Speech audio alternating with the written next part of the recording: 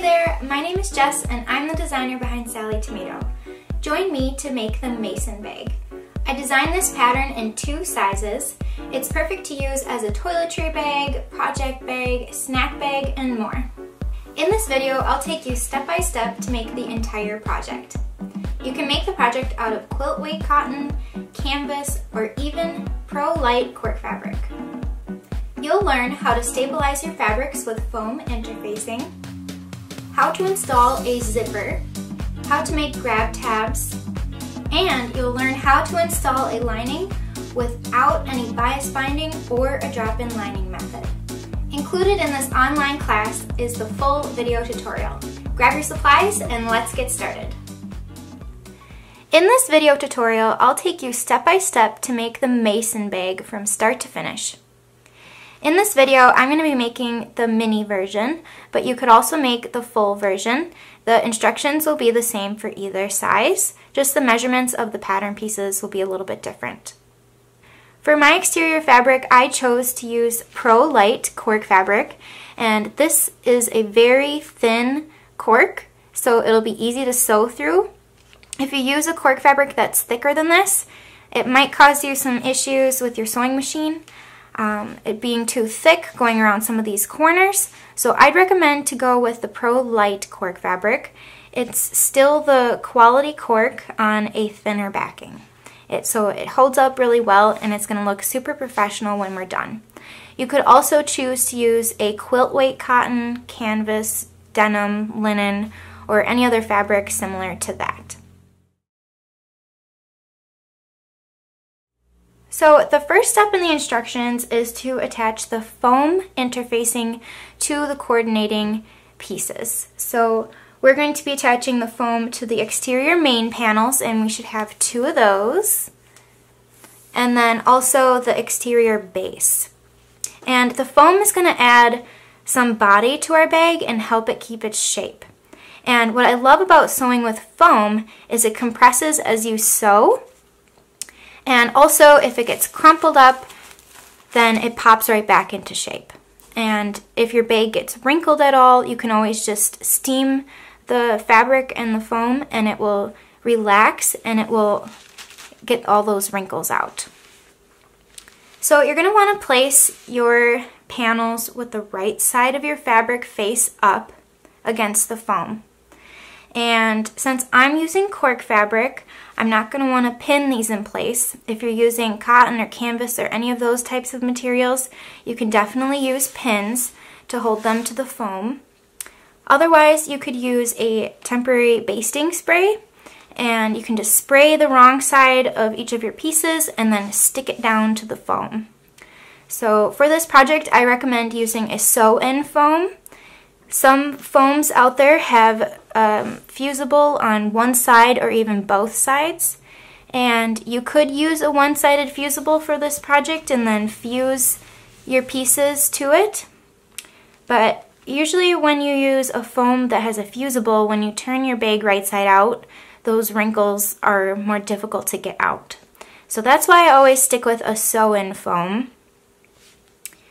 So what we're going to do is you're going to top stitch around the outer edges of all three pieces with 1 8th of an inch seam allowance. So you're just going to be sewing 1 8th inch in around all of the side edges of all three pieces. And that will just attach it to the foam. So the purpose of this step is just to attach each piece to the foam. And we can lengthen our stitch length to 5 millimeters long. Since we're just tacking it down, having the longer stitch length will just help this process go a little bit faster and the purpose is just to hold them together.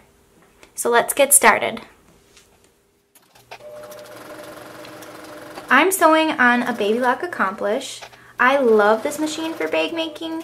It's a straight stitch only machine. So like in its name, the only stitch that it does is a straight stitch. But since it only does one stitch, it's really good at what it does. It's a super powerful machine, it's great for sewing through thickness, and that's why I love it for bag making.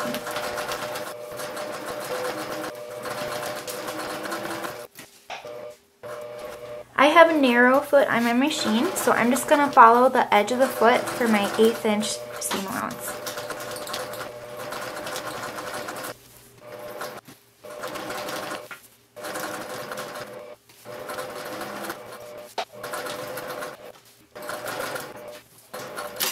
Next, you're going to take a sharp pair of scissors and you're going to trim close to all the outer edges of your fabric and trim away that excess foam.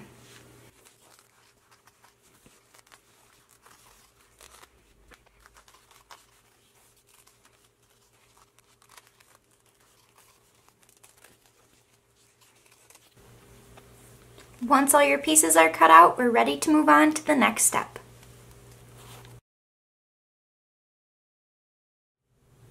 Next, we need to attach the zipper tabs onto the zipper. If you're using cotton or canvas, anything other than the Pro Lite cork fabric, you're going to want to fuse interfacing to the wrong side of each of the tabs. So like I mentioned before, I'm using cork, so this material doesn't need any additional interfacing on the back side. If you're using zipper by the yard, you can make a zipper for your project that has either a single or a double slide zipper. So a double slide zipper would have two zipper pulls on it that meet in the middle and then open outwards. But for my project, I'm just going to use a single zipper pull. And I am using Sallie Tomato Zipper by the Yard. Our zippers have a nylon coil with a metallic finish, so they're plastic and you can sew right over the teeth but they look like metal. So I think this is a really fun zipper to use. Um, the actual pull is metal, so you'll have to watch out. You don't want to sew over the pull, but it's safe to sew over the coil and cut through the coil. So it's just fun to add another professional element to your project. So I've already prepared my zipper. And if you are using Zipper by the Yard, I have lots of tutorials on our YouTube channel on how to get the pulls on the tape and how to make different lengths of zipper. So my zipper is already prepared. If you are using Zipper by the Yard, I do recommend to stitch over each raw end of the coil a few times. So just forward stitch and backward stitch, and that'll help prevent your pull from coming off. So if you move your zipper pull around, then you just having that stitching on the ends will prevent your pull from sliding off the end. So it's just helpful to have that for reinforcement. So after your zipper is prepared and your zipper tabs are prepared, you're going to take one of your tabs and have the right side face up. You'll have the right side of your zipper face up as well.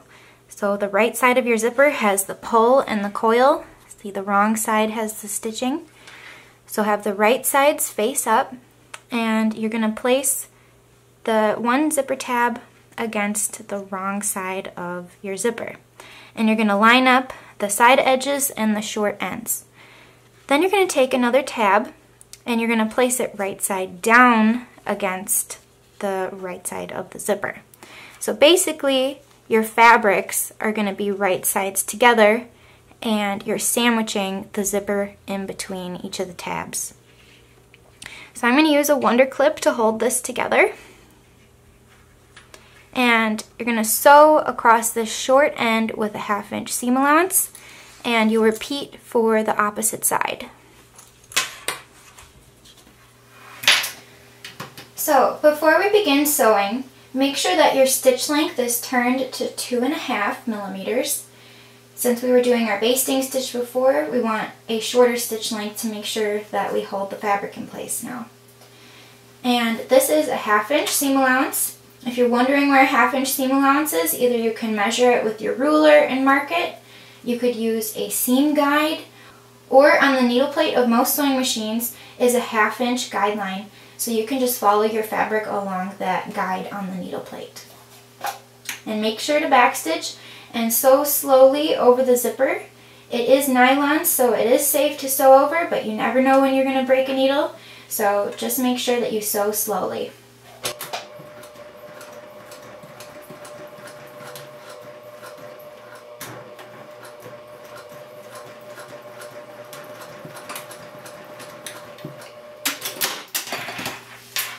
So after you have the tab stitched down, you're going to fold both of the tabs away from the zipper. So now your tabs should be wrong sides together. And you're going to top stitch a quarter inch away from that seam. And for your top stitching, you can lengthen your stitch length to three and a half, and it will just look a little bit more decorative and be a bit more defined of a stitch.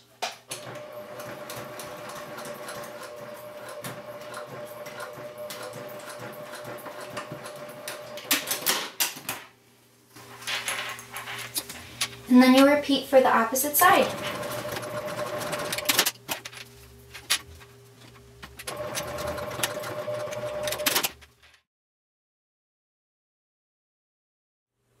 Take one of your exterior main panel pieces and have it right side up and take your prepared zipper with the zipper tabs attached and you're going to place the zipper right sides together with the main panel.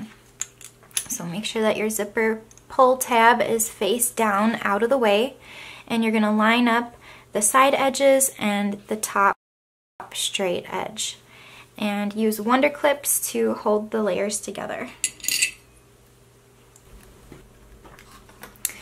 Then you're going to take this over to your sewing machine and you're going to baste the zipper in place along the top edge with a quarter inch seam allowance and you can change your stitch length to 5 millimeters again since we're just going to baste it in place. And for this step, you might want to change over to a zipper foot so that'll help you maintain your seam allowance. I'm just going to continue using my narrow foot that came with my machine.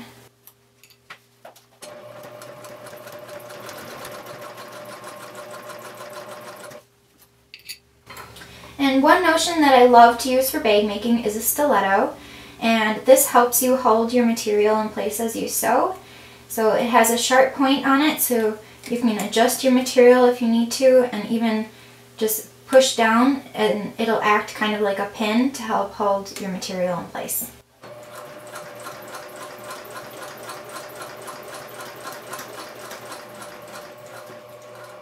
So when you reach the zipper pull, you might have to slide it out of the way if you're not using a zipper foot or a narrow foot.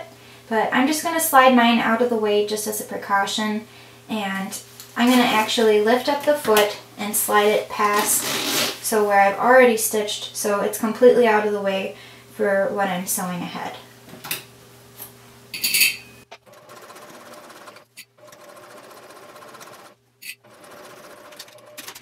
Now take one of your lining pieces and you're going to place it right sides together with your main exterior fabric piece. And you're going to line up all the edges and you're going to clip along the top edge. Then we'll take this over to the sewing machine and sew along the top edge with 3 eighths of an inch seam allowance. So that will encase our zipper and cover up that basting stitch that we did before.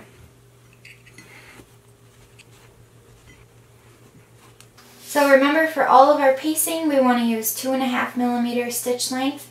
So be sure to change that back on your machine.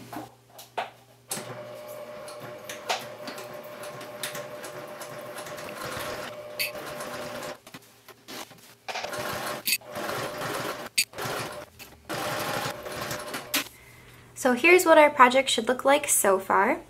Next, we're going to trim away as much foam as possible just from the seam allowance and that will help reduce a little bit of bulk.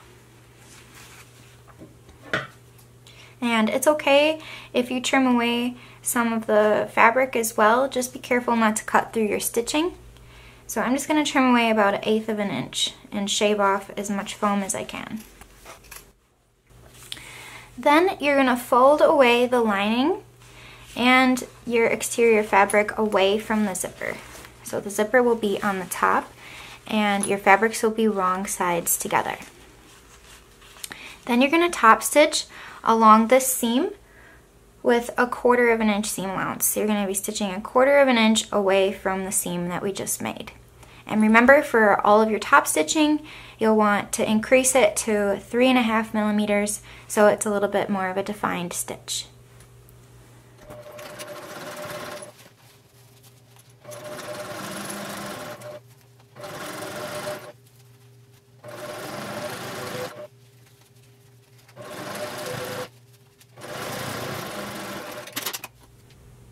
So here's what our project is looking like so far. Now we're going to repeat the exact same steps to attach the opposite exterior panel and the opposite lining panel to that raw edge of the zipper.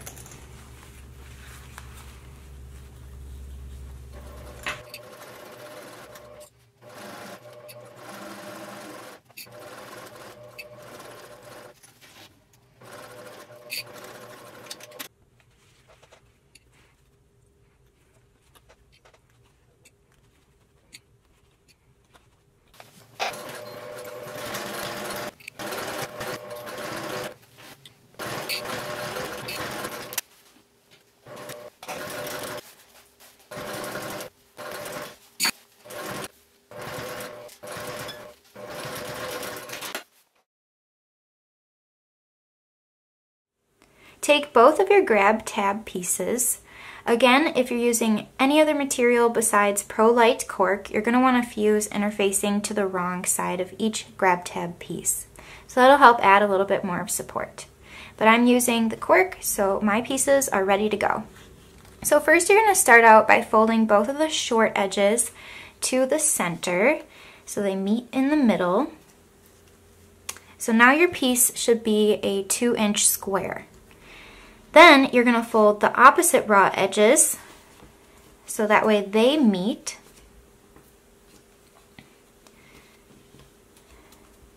And you can just finger press this or press this over at your iron.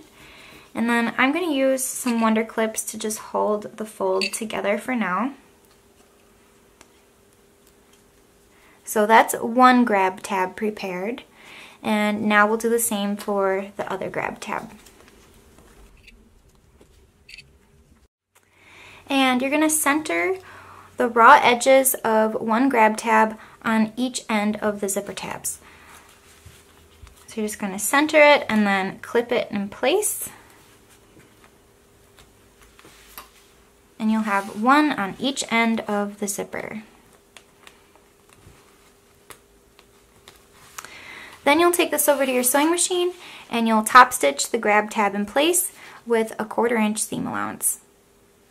When you put this under your presser foot, just make sure that your lining fabrics don't accidentally get folded. So make sure they stay wrong sides together with the foam.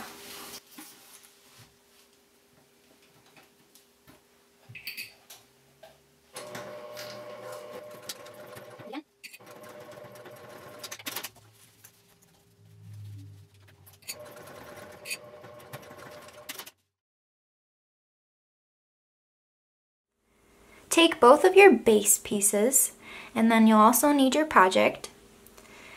Flip over the exterior base and we're going to start by measuring in 5 eighths of an inch from each of the long edges. And this will help us when we go to sew. So just mark a line at 5 eighths inch in from one long edge and the opposite long edge and I'm going to mark them on the opposite end as well. Then you're going to take your lining base with the right side up and you're going to place it against the right side of the lining. So you're going to have the lining sides, right sides together and you're going to line up that short edge with the short edge of your project and the side edges should not go beyond the side edges of the project. Then you're going to take your exterior piece and place it right sides together with your exterior fabric and line up that short edge again. And then just clip it in place. So then you're going to take this over to your sewing machine and you're going to start sewing at that 5 8 mark and then you're going to continue sewing and stop sewing at the opposite 5 8 mark. So there's going to be 5 eighths of an inch on each end that is unsewn and this will help for a later step. So we're going to use 3 eighths of an inch seam allowance, start and stop at those marks.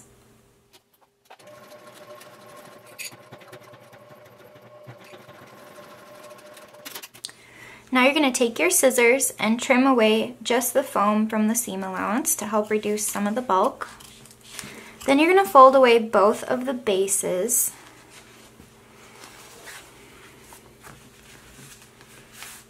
and we're gonna mark 5 eighths in from each of the side edges again.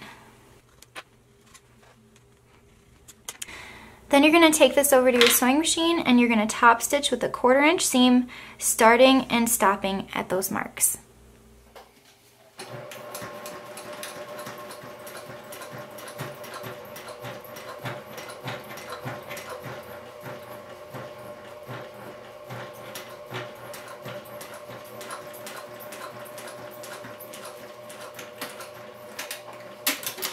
Now we're going to repeat the exact same steps to attach the opposite raw edges of both of the base pieces to the opposite edge of the main panels. So you're going to take the exterior base and place it right sides together with the exterior. And you're going to take the lining base piece and place it right sides together with the lining. So here's what it'll look like on the lining side.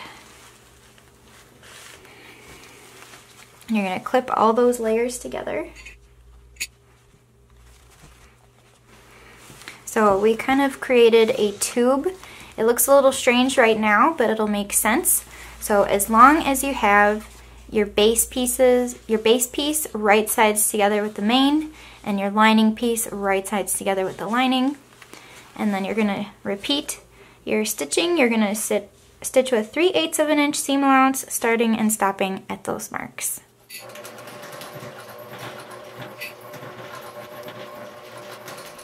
Then you want to trim away some of the foam from the seam allowance. And then we're going to turn our project right side out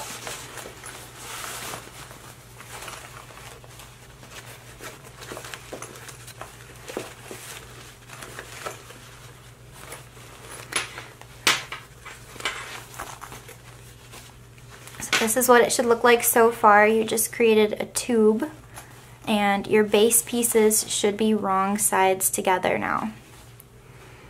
So now we just need to do the top stitching on this opposite side here.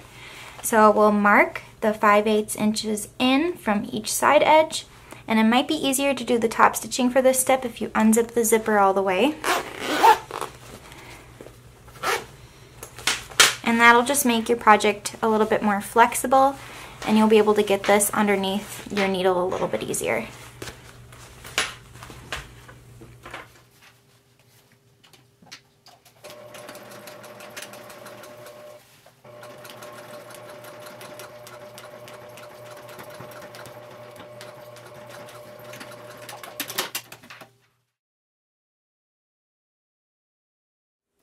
We are on the last section of instructions and almost done with our mason bag. So the first step is to mark the bottom center of both of the exterior and the lining pieces. So simply just fold it in half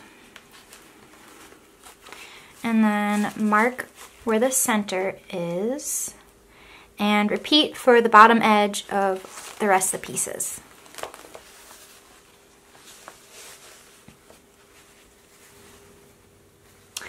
And you'll also mark the bottom center of the base on both sides and both the lining and the exterior pieces.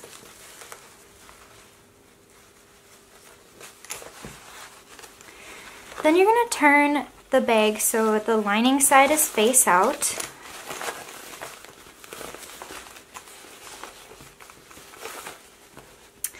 and fold the lining so it goes inside the zipper opening. That way it will stay out of the way for this next step. And you can fold in these side edges as well. So just tuck everything into the middle to try to keep it out of the way.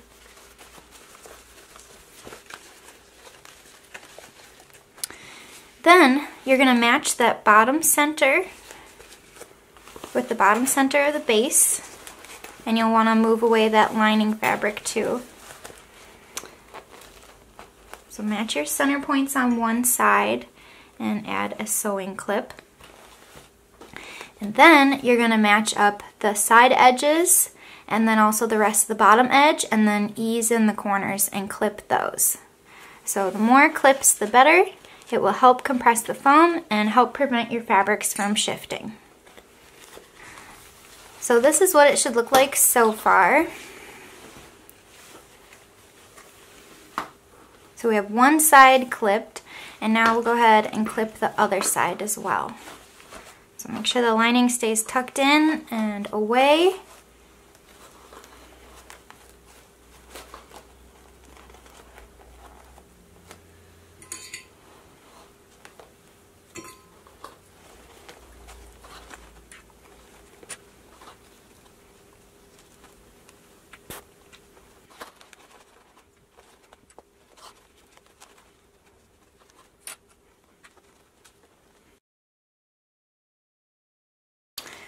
So now here's what our bag looks like with both of the sides clipped. And just make sure that your lining stays out of the way. You're going to take this over to your sewing machine and sew with a quarter of an inch seam allowance around the exterior sides that are clipped.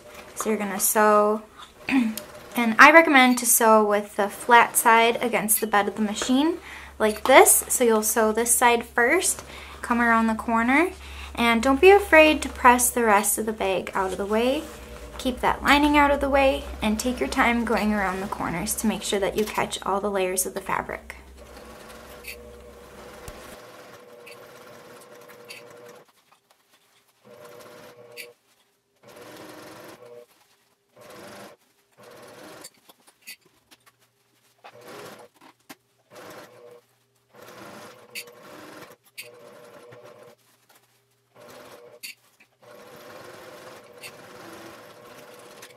So here's what your project should look like with both of the exterior pieces sewn.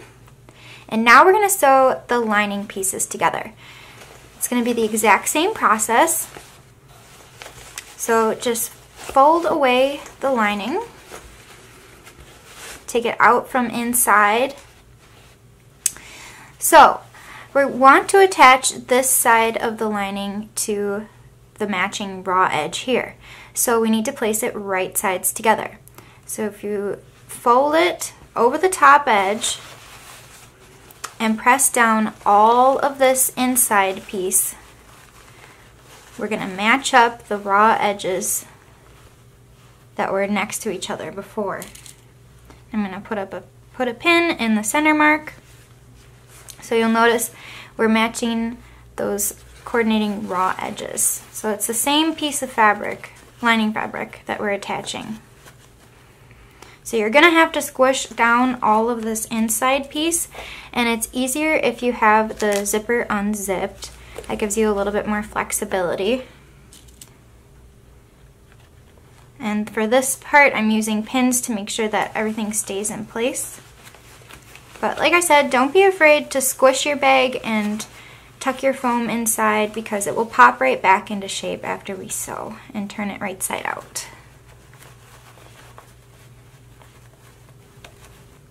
So here's what it should look like all pinned. And again, you're gonna sew with this flatter side against the bed of the machine.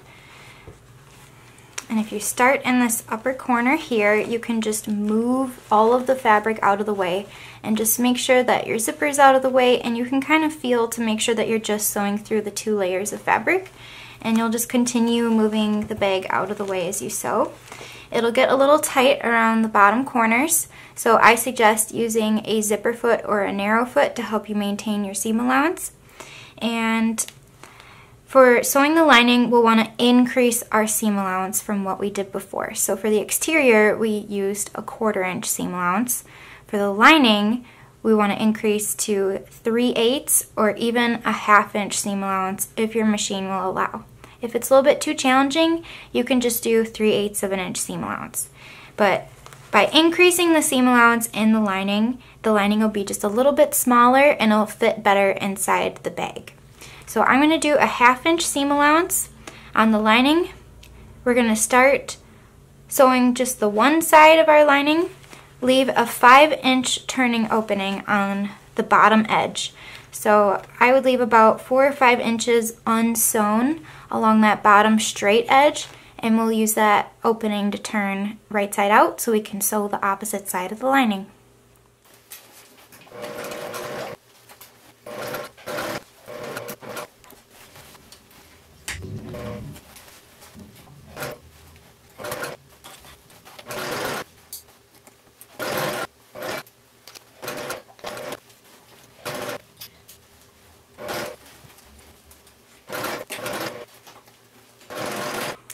So I forgot to leave a turning opening in the bottom edge, so I went back and I backstitched in two spots so that way I can seam rip this part and when we turn the bag right side out we don't have to worry about the stitches ripping out more beyond that point. So I'm just going to take out a few stitches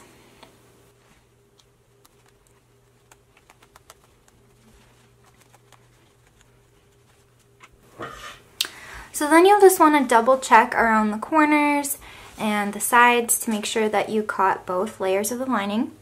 And then you can take a scissors and trim the seam allowance back to a quarter of an inch.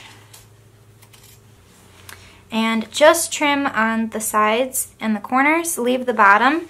That will help for when we sew that turning hole closed. So now we can turn this portion of the bag right side out.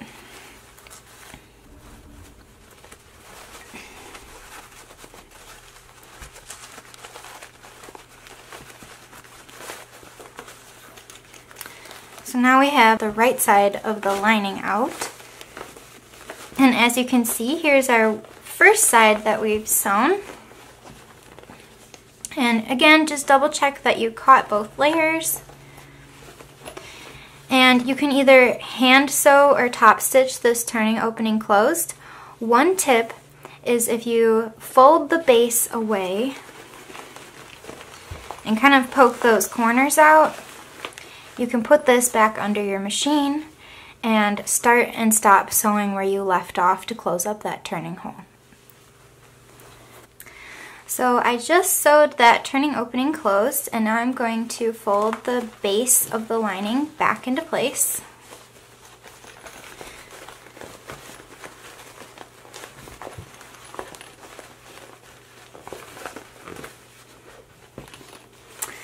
So now we have to sew the opposite side of the lining.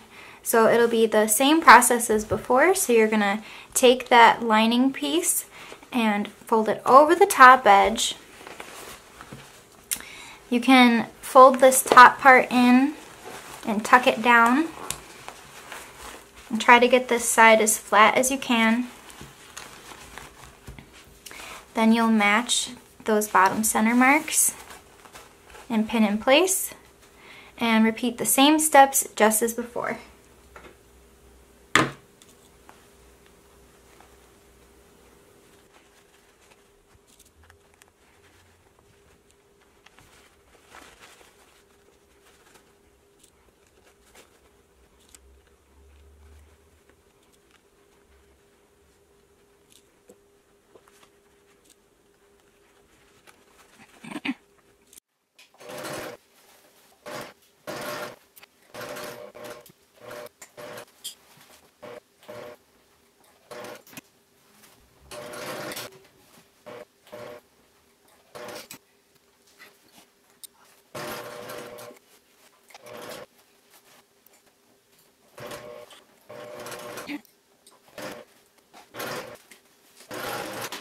I've already went ahead and trimmed the seam allowance on the sides and the corners, so now we're ready to turn it right side out.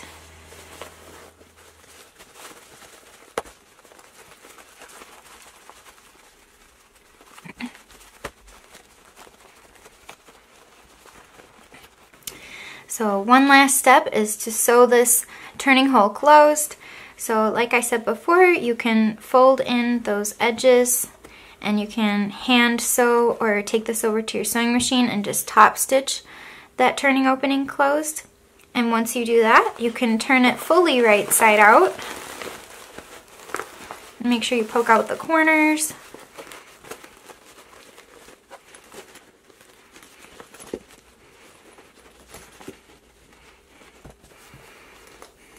And then just zip up the zipper and your mason bag is ready to use. I would love to see your completed project. Be sure to share your pictures and tag Sallie Tomato on social media.